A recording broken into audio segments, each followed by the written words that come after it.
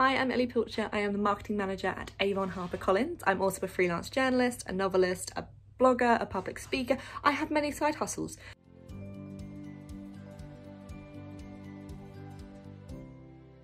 Hello and welcome back to my channel. Today we have another interview with an industry professional. Today we're looking at marketing and we have a marketing manager, Ellie Pilcher, who is working at Avon Books. Make sure you check out Ellie's book down below as well. So my day-to-day -day job is the marketing manager of Avon at HarperCollins UK. We're a publisher, we're a commercial publisher that specialises in crime, historical and women's fiction. We publish amazing authors like C.L. Taylor, Laura Jane Williams, Helen Fields. Brilliant publisher to work with and like I said, an imprint of HarperCollins UK. We have tons of meetings, um, so much so that we now have a meeting free week where we don't have any meetings because it gets too much. Um, but the meetings that I attend most regularly are things like our weekly editorial meeting where we discuss upcoming books that we're publishing, our weekly sales meetings where we have a look at the books that are succeeding or the ones that we really want to get up, um, get to higher heights. We have weekly meetings of external partners. I have weekly meetings of editors to discuss their books. I have weekly meetings with my line manager. I'm also a line manager, so I have weekly meetings with my assistant. And uh, yeah, so lots and lots of around the ring weekly meetings to discuss everything that we possibly can do. Um, but yeah, but they're quite frequent and very useful.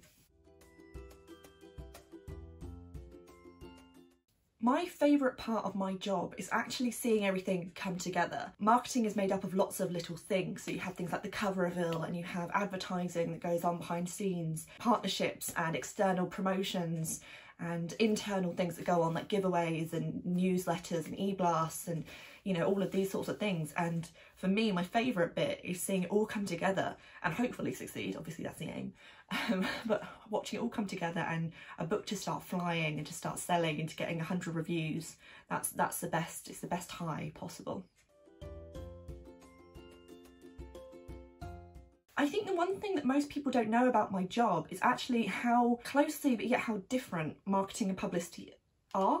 Marcoms, which is the general term for the combination of the two, um, it's kind of it's an interesting one. It's hard to explain. Marketing and the basics of it. Marketing is paid for and publicity is free. So with marketing, you pay for advertisements, you pay for promotions, you pay for partnerships, for example, and publicity. Journalists review your books for free. You get your features featured for free. Uh, you have virtual events for free for the most part. Um, I mean, that's not set in stone. PR do pay for some things, for example, a guest host uh, or for an event, maybe they pay for the food. And uh, marketing, some things are free. Sometimes a book club is free or a giveaway is free.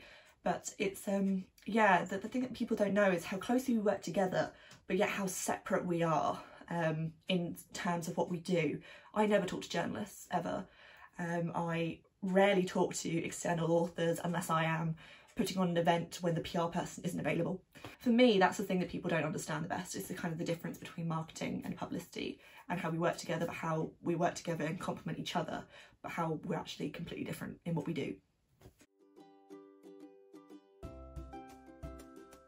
When it comes to skills for my particular role, but also in general in publishing, I always refer to the three P's of publishing, uh, which for me are patience, perseverance and pivotability.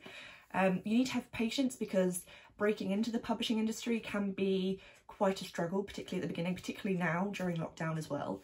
Um, but also there's patience within a role itself. So climbing the career ladder takes patience, working with authors, working with other co-workers, learning on the job, changes that can be made, you know, all of these things take patience and, um, you know, calm, so calm sensibility. And then perseverance, again, for all the things I've mentioned, it can take a while.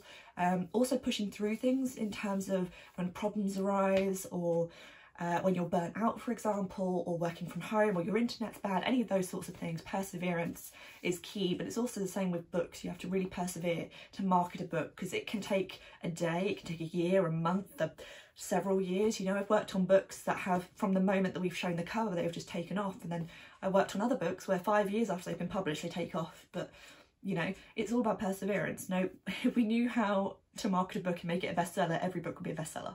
It's all learning on the job and going and learning as you go. And then finally, pivotability, uh, purely because the amount of things that can change in the publishing industry from the book cover, the book publishing date, the text, everything can change uh, and you do have to think on your feet and be able to pivot quite quickly. The one thing I really don't know about publishing, um, both from a marketing manager perspective, but also as a novelist, is I really do not know much about production, about the creation of books, about the distribution of books, for example. Um, I regularly have conversations with our production team when I'm putting together things like proofs and distributing proofs to um, reviewers and to journalists, but I don't actually know what they do or understand what they do. I'm always at a loss for words when they're talking to me and using phrases like B format and royal and um, spine width and baseboards. I don't I don't get it unfortunately. So that's something that I really want to learn about because I feel like I've learned a lot uh, as a novelist about the editorial side and the right side and the agency side and obviously as a marketing manager more about the PR and to some extent the editorial and the sales but I have yet to kind of really grasp production. So that's something I would really like to learn about. So the most challenging part of my job is actually pivoting. Um, it's a word I use a lot in marketing. It's a word I use a lot in my marketing workshops I run, um, purely because in marketing you are constantly doing things on the cuff and changing things because things like the publication date will change or the cover will be updated. Uh, the author will have a brainwave the night before publication, which you have to then implement you might have a brainwave, uh, the world might go into a global pandemic and you know everyone might go into lockdown and suddenly your big paperback campaign has to become a digital campaign. So you're constantly pivoting and constantly learning new things and trying new things and working with new companies.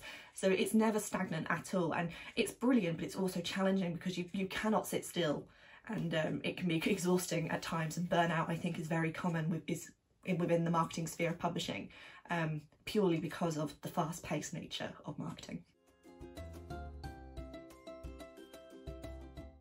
The most common career paths after my role are, it's a mix really. It's um, obviously when you're in marketing, you tend to go down the marketing manager, senior marketing manager, marketing director, head of marketing, um, and all of those routes. But there, there are many different variations of those routes you can go down. You can be the head of brand marketing, for example, or the head of digital marketing.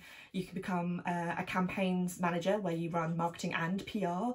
Um, you can become a head of strategy or a strategy director where you, you kind of look at the overall arching way that the company is run or the brand is run and uh, marketing the brand and everything similar to brand marketing but more more working with um the uh, executives I'd say like the heads of that sort of thing but there are many different routes and also there's nothing saying that because you work in marketing you have to stay in marketing um, I've seen people that have worked in rights have moved to editorial, editorial managers that have moved into marketing, marketing that have moved to PR, PR that have moved to sales. You know, publishing is very you can chop and change and you can move about because you're constantly learning what other people do by osmosis.